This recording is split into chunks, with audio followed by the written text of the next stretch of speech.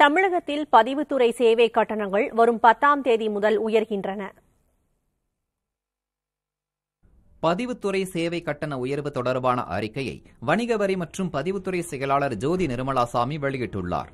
அதன்படி இருபது இனங்களுக்கான கட்டண வீதங்களும் சில ஆவண பதிவுகளுக்கான பதிவு மற்றும் முத்திரை கட்டண வீதங்களும் மாற்றியமைக்கப்படுவதாக தெரிவிக்கப்பட்டுள்ளது.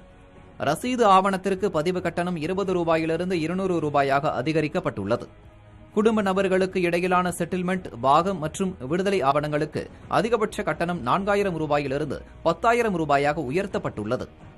அதிகபட்ச முத்திரை தீர்வை இருபத்தைந்தாயிரம் ரூபாயிலிருந்து நாற்பதாயிரம் ரூபாய் ஆக்கப்பட்டுள்ளது. தனி மனை பதிவிற்கான கட்டணம் இருநூறு ரூபாயிலிருந்து ஆயிரம் ரூபாயாக உயர்த்தி நிர்ணயிக்கப்பட்டுள்ளது. குடும்ப உறுப்பினர்கள் அல்லாத பொது அதிகார ஆவணங்களுக்கு கட்டணம் தற்போது பத்தாயிரம் ரூபாய் என உள்ள நிலையில் சொத்தின் சந்தை மதிப்பில் ஒரு சதவிகிதம் என மாற்றியமைக்கப்பட்டுள்ளது. Thank you.